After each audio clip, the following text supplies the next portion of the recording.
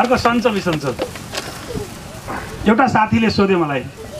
एउटा साथीले सोध्यो मलाई सन्चै छ मैले भने बा थलिनु भएको दस वर्ष भयो आमा कुजिनु भएको छ भाइ हराएको पनि धेरै वर्ष भयो म बेरोजगार छु छोरीले पढ्न छाडी छोरो पनि त्यत्तिकै हल्लै हिँड्छ श्रीमती माइतीमा चाहिँ खेत बाँझैछ यति हो बिग्रेको त बाँकी सबै सन्चै छ यति भने धेरै धेरै धन्यवाद।